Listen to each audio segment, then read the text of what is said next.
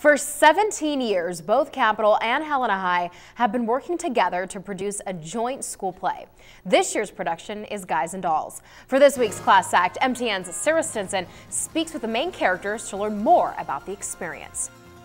The weeks of rehearsing pay off for Capital and Helena High students as they get ready to perform Guys and Dolls for the Helena community. This is the 17th year the two schools have produced a joint play. It's a time to forget about rivalry. To make something, like we aren't, it's not a football game where we're like against each other. We're working mm. together to make something awesome. But it's not always easy balancing school and rehearsals. After school until 5.30 and then for the past couple weeks we've gone even later and sometimes rehearsals run really late, like 7 o'clock, but it's always worth it. The house was packed for the opening night last week. The students say this is a play for people of all ages to enjoy. A line for everyone, um, especially one of my songs in particular.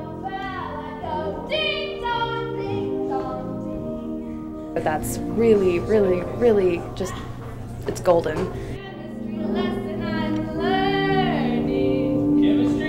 There's, I guess there's just something for almost everybody. So the favorite scene in the Tony Award winning play is it would have to definitely be like the Sue Me song.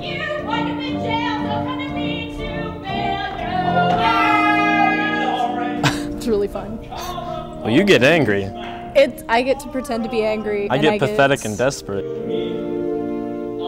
If you would like to see quirky scenes like this one, you can watch the play tonight or Thursday night at 7. In Helena, Sarah Stinson, MTN News.